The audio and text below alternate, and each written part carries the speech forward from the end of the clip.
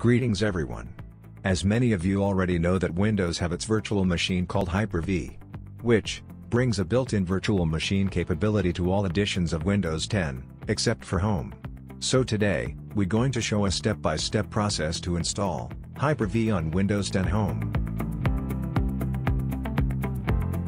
So this is my system properties, and as you can see I'm using a Windows 10 Home. To install Hyper-V, first, you need to download this, enable Hyper-V batch file. Next, right-click on the batch file and select Run as Administrator.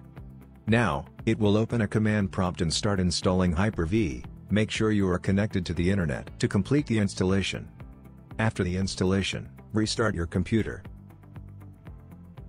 After restarting your computer, go ahead and search for Windows features.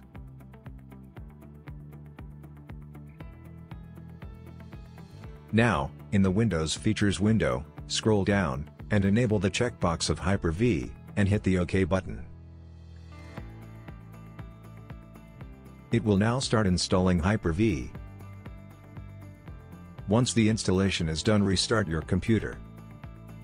After restarting, go to Start and search for Hyper-V.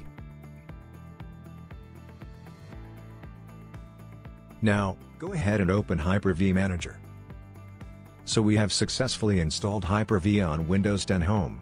In our coming video, we will show how to install different OS in Hyper-V. So that's it for today's video. If you like my video consider subscribing and like. Thanks for watching, have a nice day.